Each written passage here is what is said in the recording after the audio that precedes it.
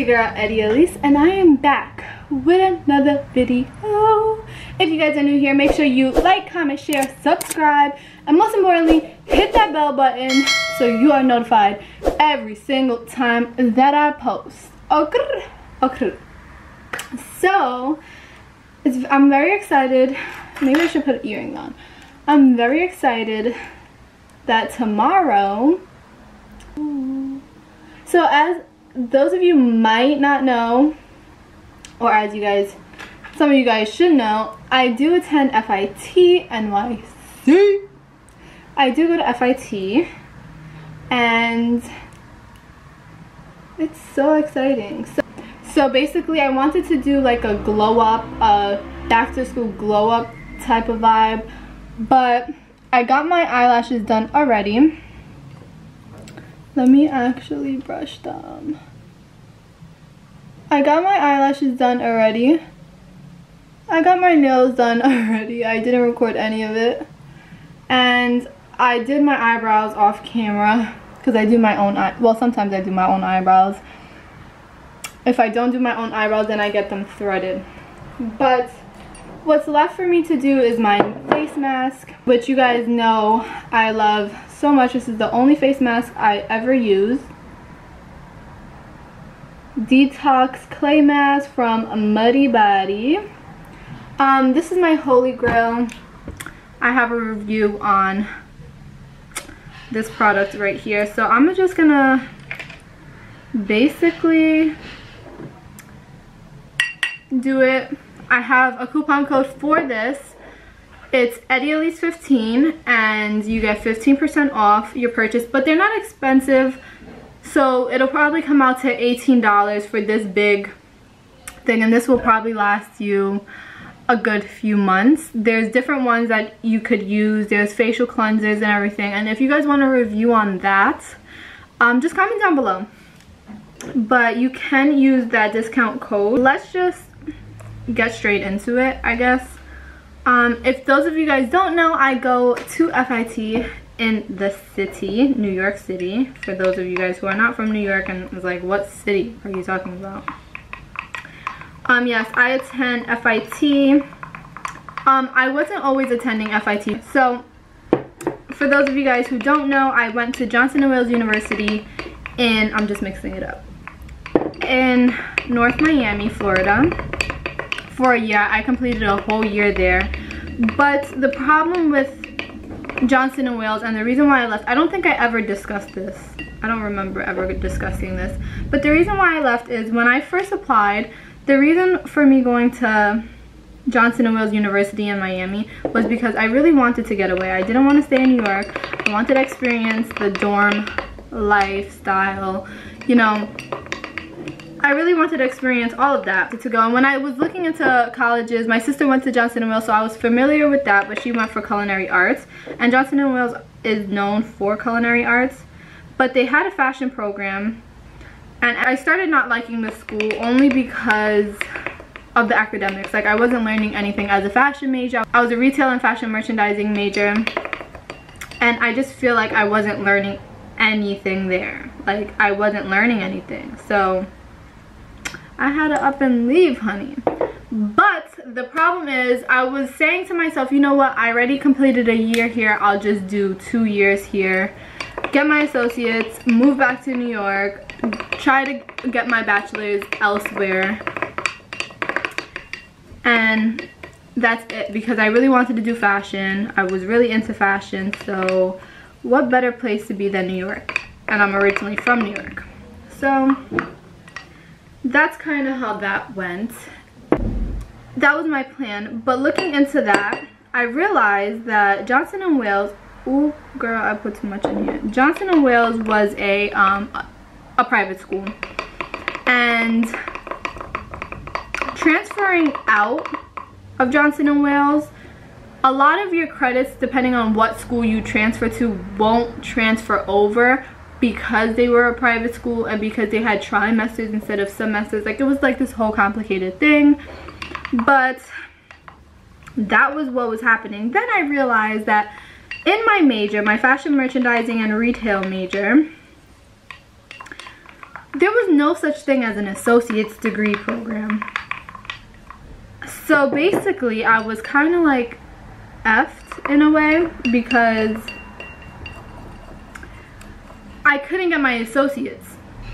So if I was to do two years there, I would leave without my associates. I would have to complete the four years. And that's kind of where they got me. And when I found that out, I was actually like, is it even worth it? Should I just give up?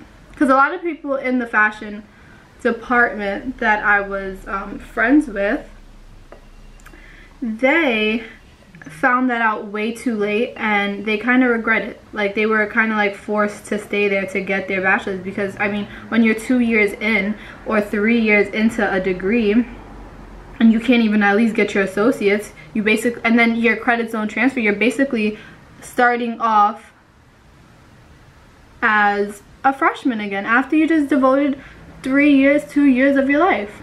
So I made the executive decision to to give up my year and move back home.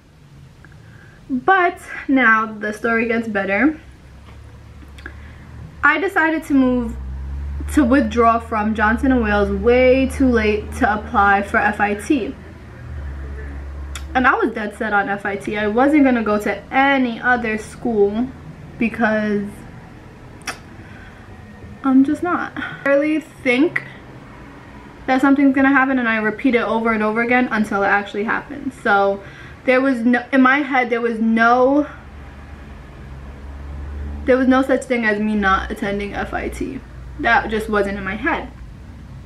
So um, it was too late to actually, you know, apply to FIT. So I had to wait out a semester, unfortunately which was kind of like a bummer, but for me it was worth it.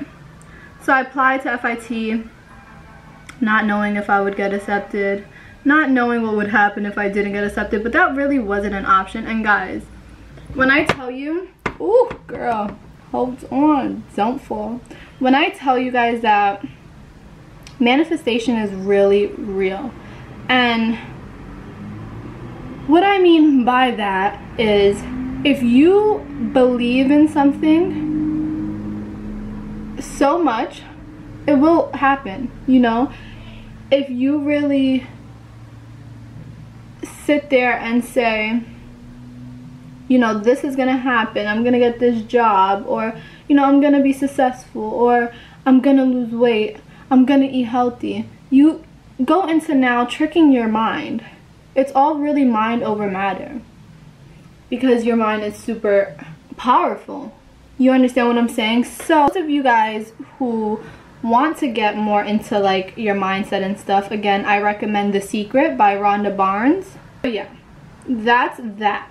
Now, what major did I go into when I first attended, well, still, when I applied for FIT? I applied for the Fashion Business Management program because I knew, and I'm pretty sure I mentioned this in another video, but I knew fashion design just was not for me. And I knew that because a lot of you guys don't know, I went to Fashion Industries, the high school, for my first year of high school. And that's where I figured out that fashion design just was not for me.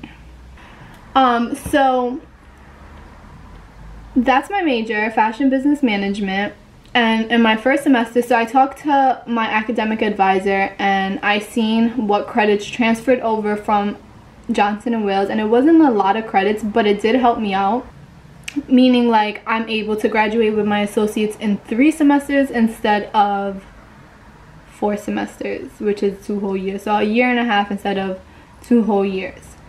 So I'm thankful for that but I am still behind a year and a half. But the classes I took last semester, my first semester was fashion business management or fashion, fashion business practices, um, marketing communications. I took merchandising math. Um, I took Excel and I also took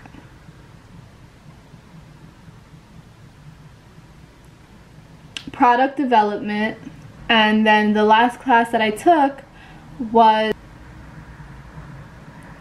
art history renaissance art history or whatever it was. I hated that class guys. Like literally it was a whole bunch of memorizing ancient paintings and this and a third that i just didn't agree with. I didn't learn anything in that class let's just say that. But those are the six classes that I took last semester and I was doing that while full-time in my job. Hello. Um, but this time around, I have six classes as well and these classes are I have statistics, I have macroeconomics, I have um, fitness training which is like a gym because we're mandated to take a gym which I don't understand. This is not high school.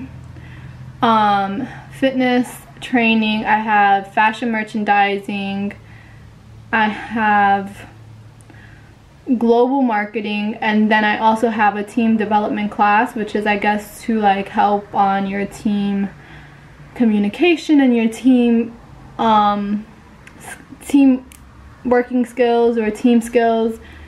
So that's that. However, this semester I am not working. I decided to take that off and just focus on you guys and focus on um, school. And I also, and why I didn't want to jump straight into a job again is because I also wanted to get a internship. And what best way to get internship than just doing it? Like i'm just gonna go for it and do it. How internships work guys i also need an internship for credit so i might as well do that knock that out the park this semester but how internships work is some of them pay some of them don't. And just because an internship comes my way and they don't pay if it's a really good internship sometimes just being able to put that on your resume is worth so much money that you'll get that in return. So it's worth the um, loss of the money that you are not making.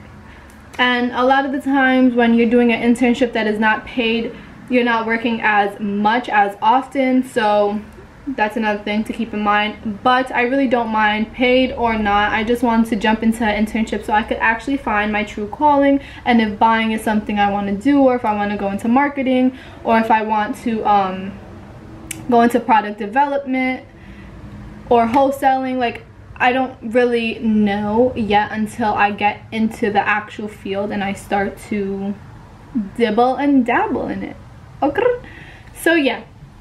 So tomorrow is my first day of school and I'm so excited. I'm going to take you guys with me and um yeah guys I graduate in May with my associates and that is such a big accomplishment for me because at the end of the day I'm not the biggest fan of school but I can say when you enjoy what you're learning like I just crave learning because everything that I am learning although I can put it into like my future career as a buyer whatever field that I decide to go into um, not only can I put what I'm learning towards that but I can also put what I'm learning towards my own business. A lot of you guys know that I do have my own business at 50 Shades NYC on Instagram, www.50shadesnyc.com. And I sell super dope shades. I love learning because, especially when you're owning a business, you. A lot of entrepreneurs go into the entrepreneurship lifestyle, not really knowing the statistics of it and the actual struggles of entrepreneurship and um realistically like you're gonna fail and like for those of you guys that comment on my um i mean comment on my stories and dm me like, oh, how do you start your own business? Or like, what advice can you give somebody that wants to start their own business?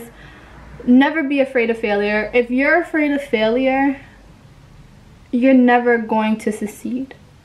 And again, success is at your own dispense. Basically, success is what you think success is. I cannot tell you what a successful person is or what success is. You make up whatever your version of success is. Success doesn't always have to be a lot of money or being rich or anything. It's not about that. But to be successful in a business, you're gonna have to fail because that's the only way you learn through failing and picking back up and getting back again and going straight at it. You know, if you have the mentality that I'm never gonna fail, you know, all this is perfect and I'm gonna just get right to it and I'm gonna succeed right off the bat, yeah, you have a chance of that. And yeah, you can manifest it, but reality is you're going to end up coming through complications and maybe it's not failing, but you might have complications in your business and keeping your head high and realizing that there's a chance of that will help you so that when it does happen you're not like oh my god I can't I can't go on anymore. Like maybe this is not for me this and a third. Just really realize what the reality of entrepreneurship is and yeah it's hard but those of you guys there's a lot of people don't mind my hands i have the face mask on my hands but there's a lot of people that want to go into um the business life or the entrepreneurship life that isn't a business major. They might be a criminal justice major or they might be a culinary arts major. One thing I do recommend is taking a business course. I'm pretty sure I had this conversation on one of my other videos, but definitely taking a business course. It's essential. That's something that you really do need to have under your belt to have um, a common understanding of how businesses work how to license your business, how to um, start a business and like, you know, the terminology in business so that when you're talking to somebody else, you could have an intellectual conversation and that could possibly open up more doors for you. So definitely taking a business course is essential. You don't have to be a business major, but you do have to invest in a business course. And as time goes through being an entrepreneur you are going to see that you have to teach yourself some stuff. So like being an owner you have to dibble and dabble in everything. So although like my major doesn't force me to take accounting but I know at one point I'm going to have to at least take a course on accounting so I know the basics on accounting so that I know once I hire an accountant for my business I know let's just say they're not trying to jip me or they're not trying to steal from me or what they're doing is on the right path and stuff like that and I don't get screwed over in the long run. It's little things like this with anything that you do. It's always good to educate yourself and just to have that knowledge because educating yourself never hurts. So if any of you guys are looking into owning a business or starting a business or becoming an entrepreneur, whether it's selling freaking lollipops at the corner, definitely look into some marketing, some business books. If even if you can't find any courses um, definitely pick up a book. Go to Barnes and Noble or the library. Also using your resources to your advantage. You have you guys don't understand that what you guys have at your fingertips is so powerful. And when I say what you guys have at your fingertips you guys are probably like what is she talking about? I don't have anything on my fingertips. No like everybody i'm pretty sure everybody has a phone. And that is the powerfulest thing ever. Think about it. Like back then they never had phones. Like we had phones. Like they didn't have a computer. They didn't have a phone that they didn't have google that worked 24 hours in a day. You know what i'm saying? That I could easily look up what's going on in Japan right now and I could see what's going on in Japan right now. Like we have this technology that we're not taking advantage of and it's like so dumb on our behalf. Like girl, guy, come on. Take advantage of your resources. If you want something really bad, it's gonna come. And greatness is inevitable, guys. Greatness is inevitable. So just know that. It might not happen tomorrow. Well, it's not going to happen tomorrow. I can tell you that much. It's not going to happen tomorrow. It might not happen next week. It might not happen in two weeks from now, a month from now, a year from now, or five years from now. But if this is something that you really want, and and again, this doesn't only go for owning your own business. This also goes for anything in life. If it's something that you want and you're constantly going at it, going at it, going at it, going at it, eventually it will happen. Things don't happen overnight and you really have to be in love with the process. You know, the process of getting there, you have to love. You know what I'm saying? Because if you don't like the process, either you might get there and just hate it or might not even get to the place that you want to be because you hate the process so much that you can't even take it anymore. So that's my little business rant and what's going on in my life. Hello. But um follow me on Instagram because I'm super active on Instagram and for those of you guys who ask me what was I gonna say? oh for those of you guys who asked me okay like after college what do you want to do what where do you want to go are you gonna stay in new york um i do want to stay in new york. I want to experience being rich in new york. That sounds crazy but if you're from new york you understand. You know what i'm saying? Like apartments out here are super expensive and then you don't get your bang for your buck. I'm very picky when it comes to like apartment hunting and stuff like that. And like I want an updated kitchen and I want an updated bathroom and I want hardwood floors and I want, you know, great lighting. But in New York, those things come with a price, a very expensive price. It's not like Atlanta or Miami where it's cheaper to live. So for those of you guys who live in New York or are familiar with New York, you know what I mean when I say I want to experience being rich or having a lot of money in New York. Eventually, I do want to move out of New York and I do want to look into moving to LA. And yeah. I already lived in Miami. I know for a fact that's not the place for me to live. And yeah, that's that's what my plans are, but I have to get my bachelor's. I might even get my master's. I just don't know exactly, you know, what I would be getting my master's in yet, just yet. But yeah, anyways, I'm gonna go wash this off and then I'll be right back to close out this video. Peace. My next video is going to be uh, first day of school getting ready with me and following me um, throughout all my classes and throughout my day. So I wanted to give you guys a little bit of background information of how I even got to FIT, what my thought process was, did I have any college experience before that? If I did, why did I transfer? I just wanted to give you background information so you guys are not confused tomorrow or whenever I decide to post the getting ready, first day of school getting ready with me. Okay, so as you guys know, make sure you like, comment, share, subscribe, and most importantly, hit that bell button so you are notified every single time that I post. And I will be back with another video. Comment down below what you want to see. Because you know I give you guys everything that you want. Peace.